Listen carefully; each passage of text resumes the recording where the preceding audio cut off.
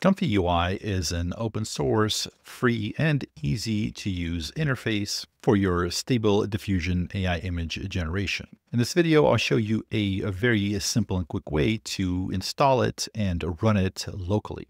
All right, so to install Comfy UI, go to this GitHub page. The link will be down below. Scroll down to where it says installation or get started. This is going to be the fast and easy way, pretty good for most people. The manual install will allow you to put it on any operating system, any GPU. It's going to allow you to create virtual environments and track the various Git updates. If you don't know what that is, just go with the desktop application and download whatever operating system you're using. Let the installer do its thing. Follow the instructions. By the way, if you want to see which card you have or how much VRAM you have, click the Start button in Windows and type in DXDIAG.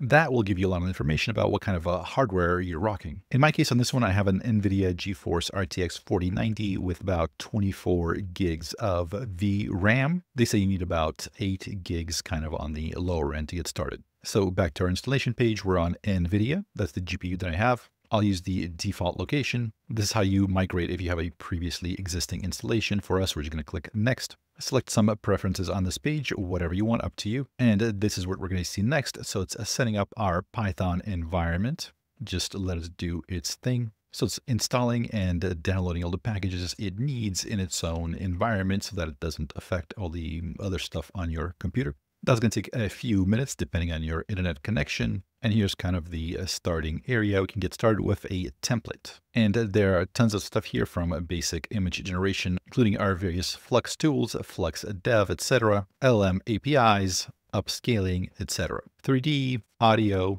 video API, image API, you get it. We're going to try the Flux Dev if you don't have the model already downloaded, you'll get this missing models and you're able to download it here. Let's go for it. Again, this is the first time I've installed it on this computer, so you're seeing it kind of live. So if it's the first time you're installing it, you'll see the same exact thing. By the way, here you can see where we're getting the model from. In this case, it's off of Hugging Face. And here is our workflow. Now, as you master this, there's a lot of stuff that can go in here, but for the time being, really what you have to know is this zoom in with the plus and minus here, or with the mouse wheel and then move this around like that. Load the checkpoint. We have our model, the checkpoint. Then we have our prompt. It came pre-loaded with cute anime girl with massive flenny ears and other fluffy bits, whatever that says. Next, as you can kind of see here, a lot of these uh, sort of things flow into this K sampler here. K sampler is the node that's actually responsible for putting everything together. And uh, this produces our latent image.